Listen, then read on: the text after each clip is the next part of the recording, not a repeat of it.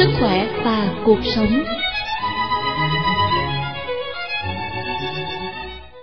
Ánh xin mến chào quý vị đang đến với chương trình Sức khỏe và cuộc sống và như thường lệ ngày hôm nay 12 giờ 5 phút cho đến 12 giờ 30 phút là giờ phát sóng của chương trình Sức khỏe và cuộc sống. À, một chương trình mà có thể nói là trong thời gian vừa qua đã luôn nhận được sự yêu mến của quý thính giả cũng như là một cái nhịp cầu để bác sĩ Lương Nữ Hoàng, à, bác sĩ của chương trình Sức khỏe và cuộc sống có thể chuyển đến cho tất cả thính giả của chúng ta những thông tin bổ ích thiết thực và đồng thời à, trong chương trình này thì chúng tôi cũng nhận được rất nhiều ý kiến phản hồi từ thính giả với những thông tin này thì đã giúp rất nhiều cho các thính giả của chúng ta với việc vận dụng và ứng dụng vào trong cái cuộc sống của mình. À, tiếp tục với chương trình sức khỏe và cuộc sống kể từ ngày 3 tháng 11 thì chương trình sức khỏe và cuộc sống à, theo yêu cầu của quý thính giả chúng ta sẽ có hẳn một chuyên đề về bệnh đái tháo đường. Đây là một căn bệnh mà có thể nói nó đã trở thành một vấn đề sức khỏe của toàn cầu và trong à, loạt chương trình sức khỏe và cuộc sống thì à, bác sĩ Lương Lệ Hoàng cũng sẽ chuyển đến cho tất cả thính giả của chúng ta những thông tin để làm như thế nào chúng ta có thể hiểu về à, bệnh đái tháo đường hột cơn đại dịch của thế kỷ như là bác sĩ cũng đã thường trao đổi cùng với thính giả.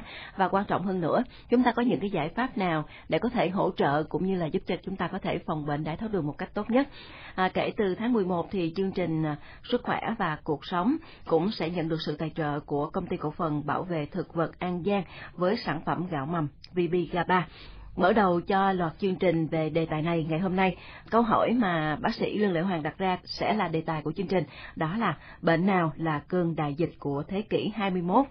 Và không phải ngẫu nhiên khi mà Tổ chức Y tế Thế giới đã đặt tên cho bệnh đái tháo đường, đó là cơn đại dịch của thế kỷ. Tại sao không phải là một bệnh nào khác, chẳng hạn như là à, bệnh ung thư, tình trạng à, bệnh bội nhiễm hay là những cái dịch cúm chẳng hạn. Tại sao mà bác sĩ lại chọn là cơn đại dịch của thế kỷ 21? Điều này muốn nói đến một vấn đề gì? Mối nguy nào cho sức khỏe cộng đồng đây ạ? Thưa cô Kim Ánh, thưa quý thính giả thân mến của chương trình Sức khỏe và cuộc sống. Trước hết thì tôi rất cảm ơn à, Đài Tiếng nói nhân dân thành phố Hồ Chí Minh cũng đã đồng tình khi quyết định cho thực hiện một loạt chương trình liên quan đến bệnh tiểu đường. Không phải chỉ có tháng 11 mới là cái tháng để người ta tập trung vào chuyện phòng chống bệnh tiểu đường Tổ chức Y tế Thế giới như cô Kim Ánh vừa mới trình bày, họ chắc chắn phải có cái cơ sở rất vững chắc khi họ đặt tên cho bệnh tiểu đường là cơn đại dịch của thế kỷ. Cơn đại dịch của thế kỷ có nghĩa là họ cho đây là cái cơn dịch lớn nhất xưa đến nay. Thì có nghĩa là nó nó phải có một cái số người bệnh rất đông, nó phải uh, lây lan thì cái điểm đây là lạ là bệnh tiểu đường không phải là một bệnh lây lan. Bệnh tiểu đường không có truyền, không phải là bệnh truyền từ người này sang người khác. Cũng không cũng không có hẳn yếu tố di truyền theo cái kiểu mà ta nghĩ là hay cha mẹ bị tiểu đường thì con cũng bị tiểu đường. Bằng chứng là có những người, có cha mẹ bị tiểu đường, họ không hề bị bệnh tiểu đường. Ngược lại là có những người cha mẹ đã bị bệnh tiểu đường đi nữa, thì cũng không có nghĩa là những đời khác hay trong gia đình mình cũng bị bệnh tiểu đường. Nhưng dù vậy thì thầy, các chuyên gia của tổ chức y tế thế giới vẫn gọi đó là cơn đại dịch. Bởi vì lý do là gì? Cái số người bệnh, cái số người dướng phải bệnh tiểu đường này, hiện nay nó đang tăng nhanh tới mức độ chưa có một cái cơn dịch nào mà có một cái số lượng bệnh nhân đông đến như thế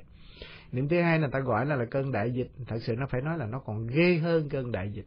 Vì trong cơn dịch người ta sẽ bị lây lan. Nhưng mà khi qua hết cơn dịch rồi thì thôi người nào xui xẻo lắm, bị bệnh nặng, có thể đi đến độ tử vong. Ngay cả những cơn dịch lớn như xưa nay, như cơn dịch cảm cảm cúm, cơn dịch tả chẳng hạn, cũng đã có hàng hàng triệu người phải mất mạng. Nhưng sau cơn dịch rồi thì thôi vì đó là một cái bệnh mà do bội nhiễm.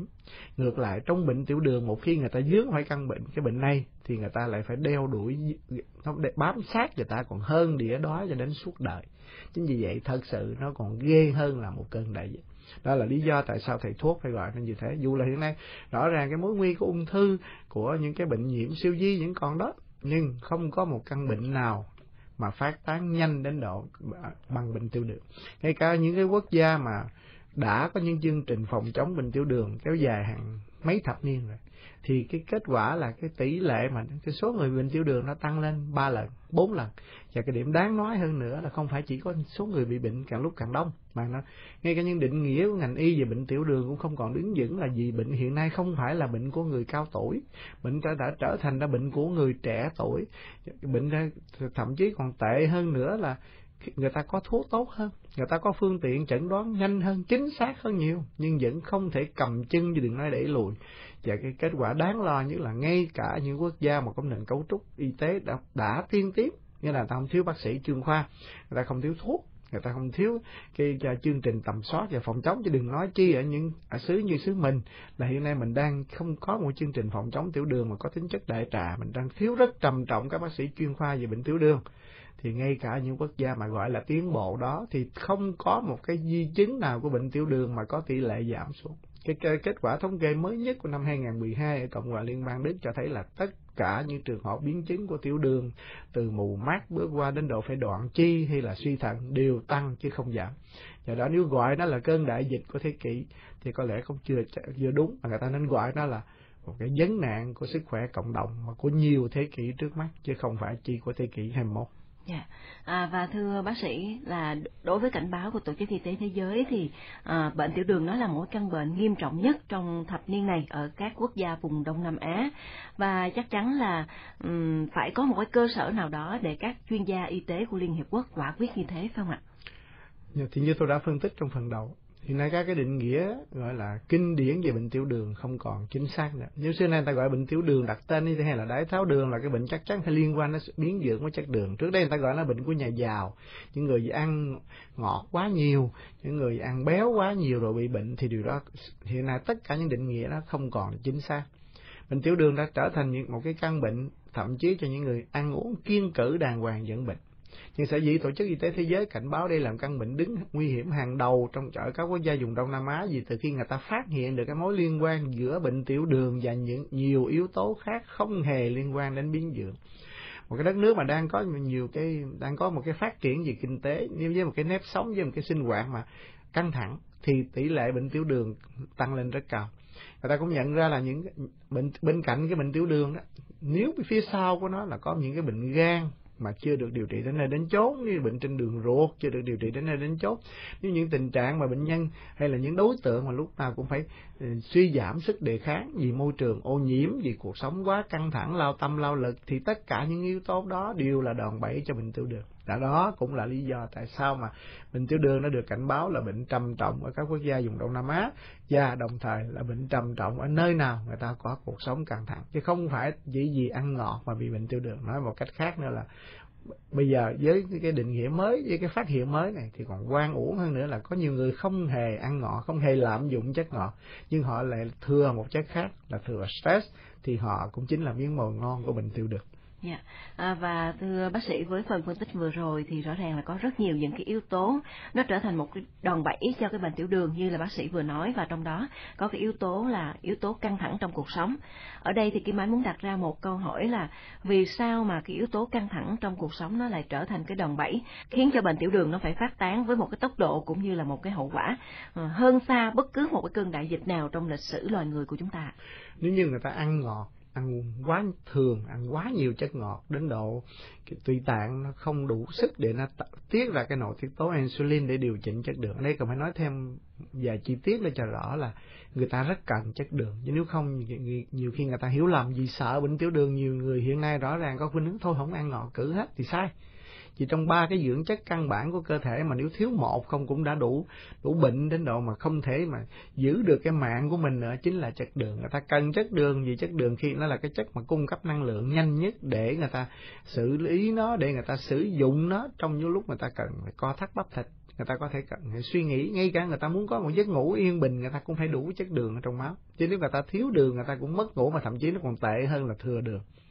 thì cái chất đường hiện nay, nếu mình ăn ngọt, tức là chất đường ngoại lai mình mang vào cơ thể mình ăn quá nhiều, mình ăn quá lố, mình chọn những cái món mà đồng thời nó chẳng những có ngọt mà nó đồng thời hại nữa. Chẳng hạn tôi nói, ví dụ như có những bệnh nhân mà tiểu đường họ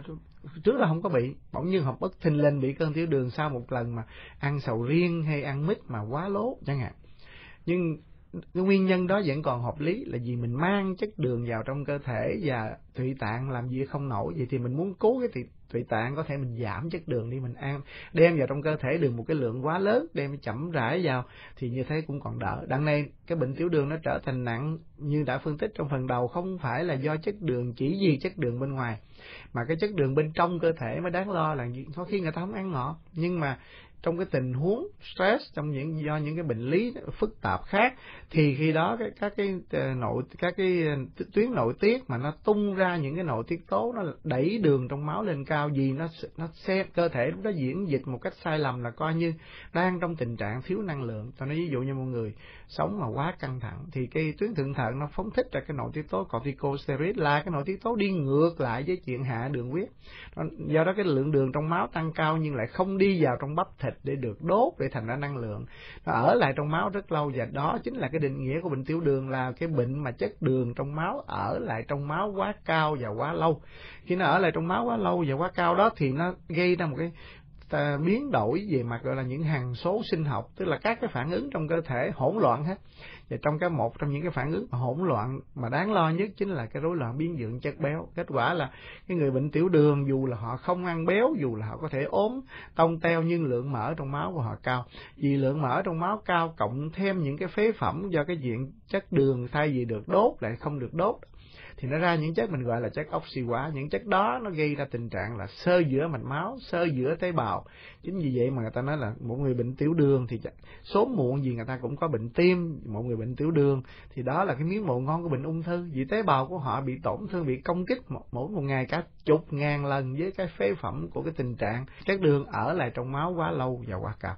như vậy thì cái yếu tố căng thẳng chính là một trong những đòn bẩy mà làm cho cái đường nội sinh. Cái đường đó có thể xảy ra là người ta tối, chiều tối rồi không ăn gì nữa, đi ngủ. Nhưng trong giấc ngủ lượng đường vẫn tăng cao. Thì sáng khi người ta thức dậy thì lượng đường trong máu thậm chí cao như một người lạm dụng chất ngọt cái tăng đường huyết đó mới nghịch lý và đó mới là cái điều khó ứng xử, khó cho bệnh nhân, khó xử lý cho thầy thuốc. Và bệnh tiểu đường sở dĩ nhiêu khê thường không phải do cái chuyện đường từ bên ngoài vào, vì đường bên ngoài vào người ta có thể giới hạn cái đầu vào được. Đáng lo hơn nhiều chính là đường trong cơ thể tạo ra.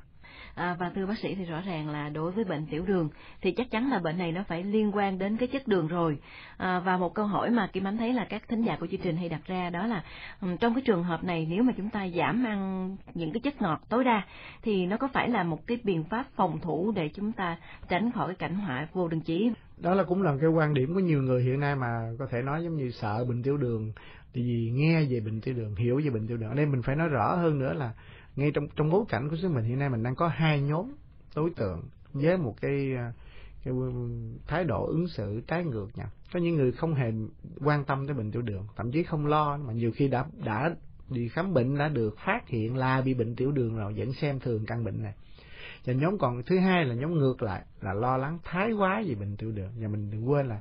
cái tình trạng lo lắng thái quá, bất kể nguyên nhân nào cũng là một cái đòn bẩy khiến cho tuyến thượng thận và tuyến giáp trạng đẩy lượng đường trong máu lên cao.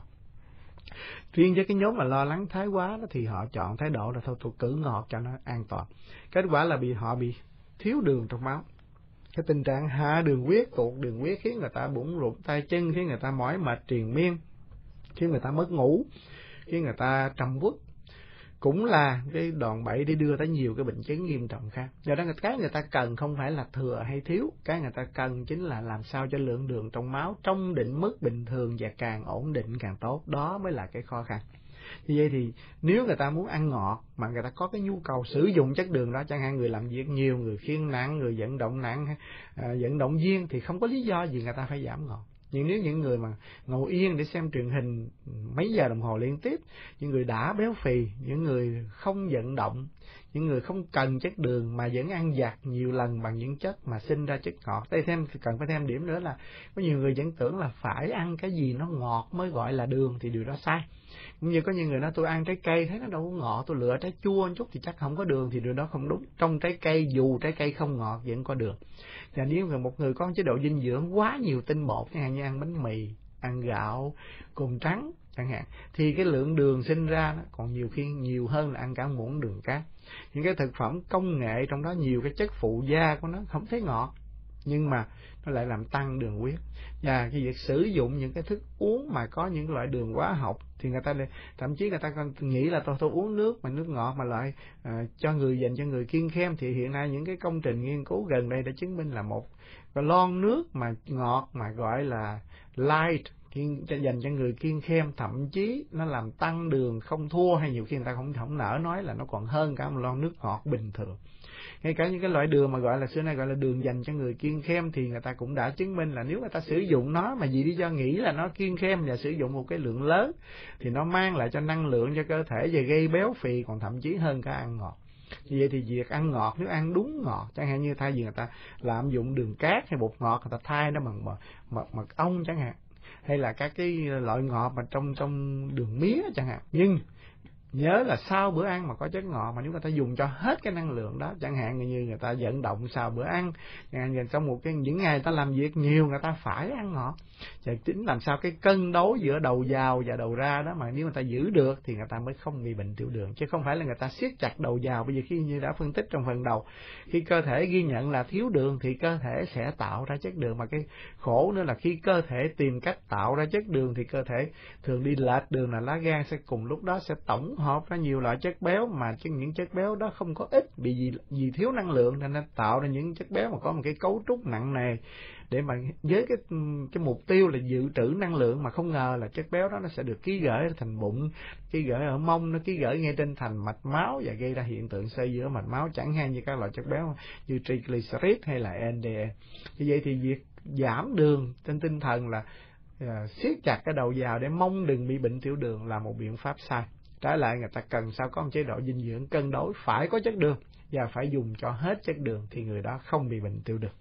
Sao mẹ lại ăn nhiều cơm quá vậy mẹ? Ừ. Mẹ không nhớ là người bệnh tiểu đường không được ăn hơn một chén cơm mỗi bữa hay sao? Mẹ đâu có quên bao giờ là người bệnh tiểu đường á phải kiêng gạo cử bột. Nhưng con à, mẹ đã từ lâu á chiều nào cũng ăn hết gần hai chén mà đường huyết vẫn trong mức bình thường vì mẹ nấu cơm với gạo mầm VBK3. Gạo mầm VBK3? Đúng vậy con à. Nhờ hoạt chất GABA nên người dùng gạo mầm VBK3 có thể ăn đến hai chén mà không dao động đường huyết. Người bệnh tiểu đường nhờ cảm giác no bụng nên ngủ yên. Chẳng những thế, nhờ tác dụng chống sơ vữa mạch máu và hạ mỡ máu của GABA nên người chọn gạo này có thể phòng ngừa biến chứng nghiêm trọng của bệnh tiểu đường đó con à. Hèn chi lúc này nhìn mẹ rất là khỏe luôn á. được ăn chắc bụng ngủ ngon giấc lại thêm đường huyết và huyết áp ổn định, mẹ tất nhiên phải khỏe rồi. gạo mầm VBK3 chén cơm nên thuốc cho người bệnh tiểu đường, hạt ngọc trời cho người muốn phòng bệnh. Sản phẩm đang được bán ở siêu thị và các đại lý của công ty bảo vệ thực vật An Giang Cần thêm chi tiết xin gọi 0838647930, hotline 0915161759.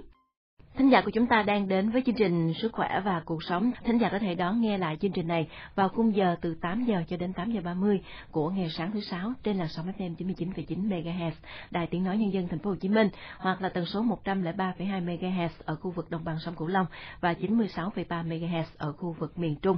À, và tiếp tục chương trình ngày hôm nay, à, bác sĩ Lê Lệ Hoàng sẽ đến với à, thính giả qua tiết mục mèo vặt vòng thân. À, thưa bác sĩ, với câu hỏi đặt ra là củ dền nên thuốc cho ai thì À, thật ra Kim Ánh cũng đang à, suy đoán xem là bác sĩ muốn đề cập đến à, đối tượng nào sẽ phải thường xuyên dùng củ dền như là một loại thuốc. Củ dền thì trước nay nhiều người vẫn nghĩ rằng nó sẽ bổ ích cho những người mà người ta thường dùng một cái cách nói thật là nôm na, thật là bình dân, đó là bị thiếu máu, thì phải ăn củ dền trên thực tế thì cái củ dền này nó còn dành cho những cái đối tượng nào nữa? Thật sự thì cái quan điểm nếu gọi là trong mặt mà bắt hình dong thì trong trường hợp này gọi là trong màu mà bắt hình dong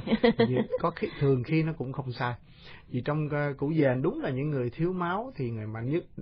thiếu máu do thiếu sắt. Ở đây phải nói rõ thêm nữa là thiếu máu có nhiều loại khác nhau. Nếu không phải do thiếu sắt thì người ta không cần củ dền vì với củ dền thì trong đó cái hàm lượng chất sắt tương đối cao và người ta có thể dùng cho những bệnh nhân thiếu máu vì thiếu sắt. Chẳng hạn như những người bị rong kinh chẳng hạn như những người là à, dễ bị xuất huyết tiêu hóa những người bị viêm đại trường mãn thì người ta nên dùng. Ở đây phải nói thêm nữa là khi người ta dùng củ dền thì thường thường khi người ta đi tiểu nó có cái màu đỏ. Do đó phải nói rõ là có nhiều người vừa mới ăn món củ dền về thì hết thì mà thất thần gì tưởng là mình đi tiểu ra máu thì điều đó sai. Nhưng mà củ dền không phải chỉ để thiếu bổ sung cho người thiếu sắt. Trong củ dền cái thành phần quan trọng nhất của nó chính là các cái chất mà người ta gọi là kháng ung thư. Và người ta cũng đã chứng minh là À, cái chế độ dinh dưỡng có củ dền như vậy thì nó sẽ giúp cho những người mà sau khi quá trị sau khi xạ trị họ sẽ chống được tình trạng thiếu máu. Đồng thời cái, cái tình trạng suy nhược của họ mà cái suy nhược đó là khó tránh khi dùng thuốc quá trị hay trong à, sau khi xạ trị. Thì người ta kết hợp nó trong hiện nay thậm chí là chẳng hạn như cái củ dền là một cái món mà rất được các thầy thuốc ở nga tán thưởng. Họ thậm chí có cả những cái loại súp mà có củ dền coi như món ăn à, về dân tộc của họ. Thì người ta các thầy thuốc ở Nga cũng chứng minh là thậm chí họ kết hợp ngay củ dền trong cái chế độ dinh dưỡng của người đang được điều trị. Nhưng mà để tránh cái trường hợp là có như thầy thuốc à, đặc biệt các thầy thuốc chuyên khoa ung bướu thì người ta có một số có khuynh hướng là không dùng thêm chất gì khác trong lúc họ đang điều trị thì bệnh nhân ngay sau khi được hóa trị và xạ trị nên có một chế độ dinh dưỡng mà dồi dào củ dền và bên cạnh cái tác dụng chống thiếu máu, chống ung thư đó, còn thêm điểm nữa là trong củ dền có cái hàm lượng axit folic rất cao. Và axit folic do đó những người lại là cái chất mà dễ thiếu ở các thai phụ. Và trong lúc mang thai thì nếu được thì người ta không nhất thiết phải mỗi ngày, nhưng người ta nên có cái một cái ờ, loại canh, một cái món nào đó mà có củ dền cho thường. Điều đáng lưu ý là người ta không, khi dùng nấu nướng cái kiểu nào cũng vậy, đừng nấu ờ, củ dền với một cái nhiệt độ cao nghĩa là phải nấu lửa riu riu bởi vì nếu nhiệt độ cao thì người ta sẽ phá hủy tất cả các cái hoạt chất mà đáng đồng tiền của cụ già. À, cảm ơn những thông tin mà bác sĩ Lương Lễ Hoàng đã mang đến cho thính giả à, trong chương trình ngày hôm nay và cuối chương trình như thường lệ sẽ là tiết mục bản tin y học. Bản tin y học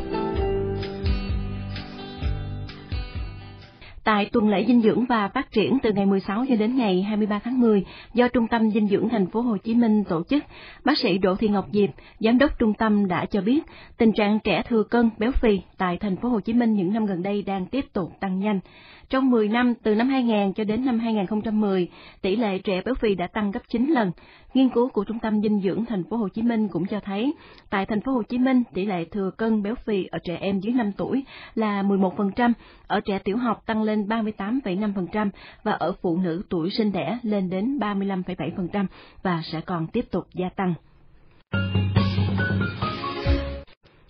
Theo công bố của Hiệp hội Đái tháo đường Thế giới hồi năm 2012, thì Việt Nam là quốc gia có 3 triệu 160 ngàn người dân mắc bệnh đái tháo đường, hay tương đương với khoảng hơn 5% dân số trưởng thành trong độ tuổi từ 20 cho đến 79 tuổi. Dự đoán đến năm 2030, số người bệnh đái tháo đường sẽ tăng lên 3 triệu 400 ngàn người, tương đương với 4,4% tổng dân số trưởng thành. Rối loạn dung nạp đường được biểu thị bằng lượng đường trong máu cao là yếu tố tiên lượng quan trọng của bệnh đái tháo đường trong vòng 5 năm tới. Trong năm 2012, rối loạn dung nạp đường đã ảnh hưởng tới 5 triệu 400 ngàn người, chiếm 9,5% dân số trưởng thành ở Việt Nam. Theo kết quả điều tra dân số vào năm 2011, số người cao tuổi trên 60 tuổi ở Việt Nam là hơn 8 triệu 600 ngàn người, chiếm gần 10% dân số. Tỷ lệ người cao tuổi trên 65 tuổi chiếm 7% dân số. Trong khi đó, một quốc gia nếu người cao tuổi từ 60 tuổi trở lên chiếm 10% dân số thì được gọi là già hóa dân số. Đại diện Quỹ Dân số Liên Hiệp Quốc tại Việt Nam, tình trạng già hóa dân số đang diễn ra ở tất cả các khu vực và quốc gia với các mức độ khác nhau. Việt Nam là một trong những quốc gia có tốc độ già hóa nhanh nhất châu Á. Còn sau đây là một số tin y học trên thế giới chính phủ Pháp dự định sẽ cấm bán một số loại nhang và đèn cầy có hương thơm với lý do là bảo vệ sức khỏe người dân. Theo hãng tin AFP, thì việc cấm các loại nhang và đèn cầy có hương thơm gây hại sức khỏe là một giải pháp nằm trong kế hoạch hành động để đảm bảo chất lượng không khí trong nhà mà Bộ Sinh thái và Bộ Y tế vừa mới công khai vào hôm 23 tháng 10. Việc sử dụng nhang thường xuyên có thể dẫn đến nguy cơ mắc bệnh cấp tính, mãn tính và gây ung thư. Báo cáo của Viện Nghiên cứu Nguy cơ Công nghiệp Quốc gia đã nhận định và liệt kê danh sách các chất độc hại như là benzen, formaldehyde, trong đó chất benzen được Liên minh châu Âu xếp vào loại gây ung thư người, còn chất formaldehyde thì gây viêm mũi và đường hô hấp.